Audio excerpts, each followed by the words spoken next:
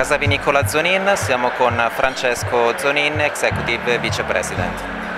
Eh, L'azienda quest'anno registra mh, quale andamento? Abbiamo voglia di conoscere alcune cifre significative e in particolare qualche informazione sull'ultima vendemmia. Abbiamo chiuso un buon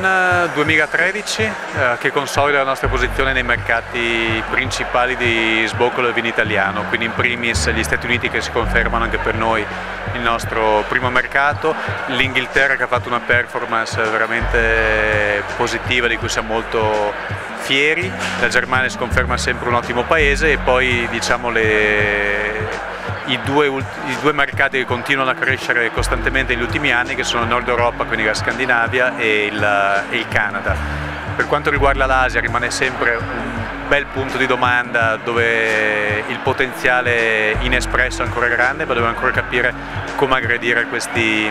questi mercati. E poi un paese che ci fa particolarmente piacere perché lo consideriamo sempre un competitor produttivo ma è l'Australia dove abbiamo fatto veramente una performance eh, di tutto, di tutto rispetto affrontiamo il 2014 con una buona vendemmia del 2013, sicuramente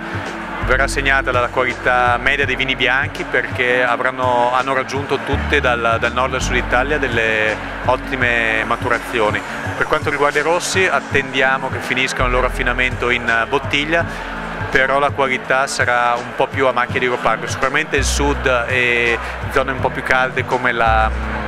come la Maremma daranno dei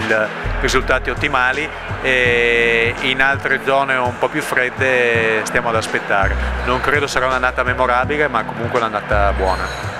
Ecco, per concludere qualche novità legata alla vostra partecipazione a Vinitaly 2014?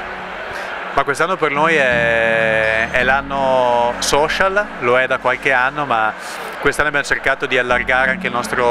orizzonte cercando di legarci alla comunità del, del food. Uh, è un canale in cui crediamo molto perché il vino ha tanto da raccontare, ha bisogno di una piattaforma dove potersi eh, raccontare. Non hai budget per poterlo fare in, uh, in televisione per cui questo, questa comunità che si crea all'interno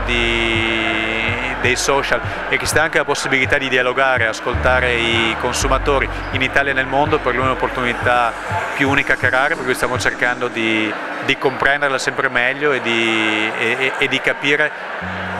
cosa possiamo fare in più per il vino attraverso questi nuovi media.